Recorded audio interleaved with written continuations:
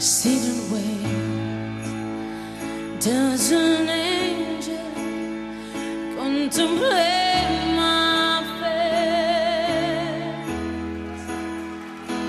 Do they know the places where we go when we're gray and old? Cause I have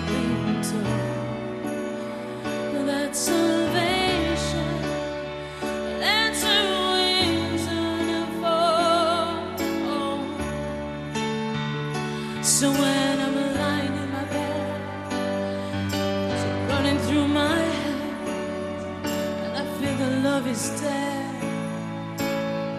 I'm loving angels instead.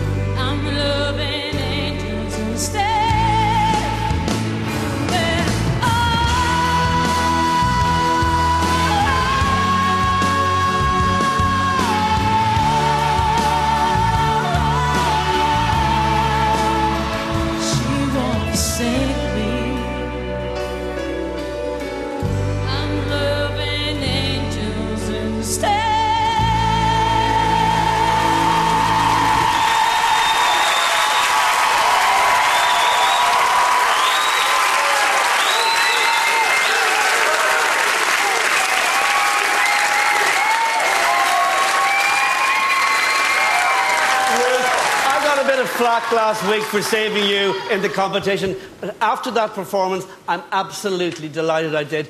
Ruth, there's two things keeping you in this competition. Two things, Simon. Her passion and her personality. and we love you, and I hope people vote for you because you certainly you deserve to be on that stage. Thank you. Yeah, you, you kept apologising to me last week for Laura's departure, but that was not down to you, babe. You totally deserve to be in this competition, and you proved that yet again tonight. Well done.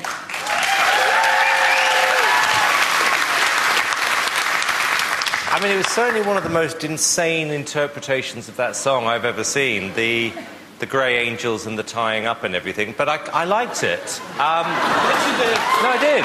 I did.